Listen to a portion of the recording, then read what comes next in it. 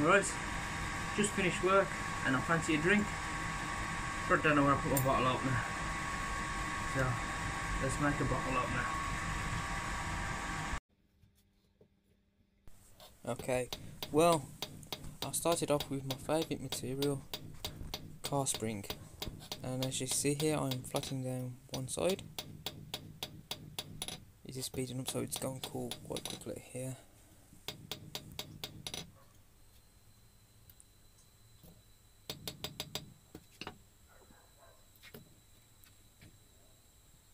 Now, I'm trying to bend it over, but I did a little mistake here.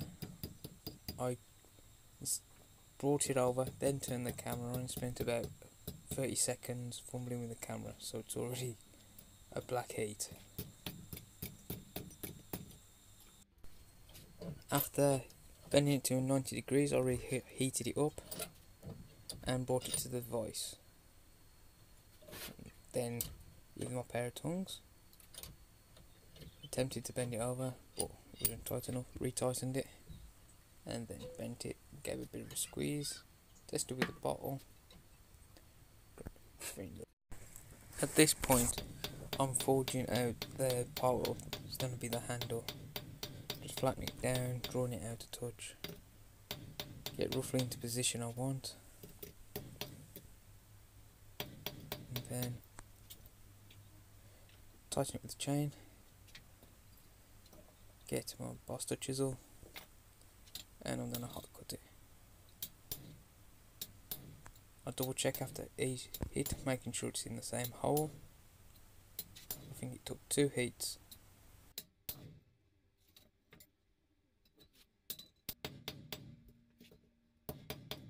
At this point I'm redressing the handle, making sure it's all square and to the dimensions I want.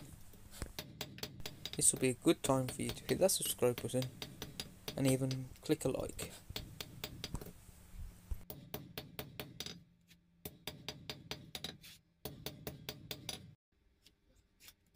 Here I'm putting a small curl on the other side facing the opposite way to the to the hook part what will open the bottle what will go over the bottle cap and just curling up trying to strut towards me.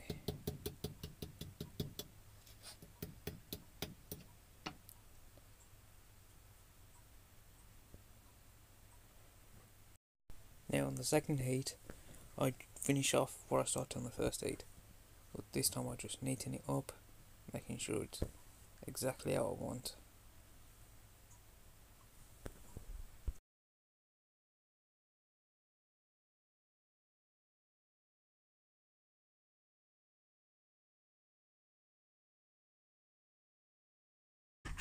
Right, finally done.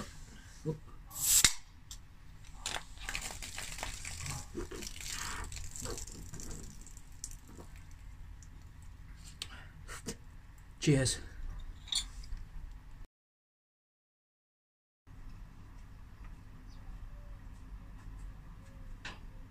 Found the bottle up now.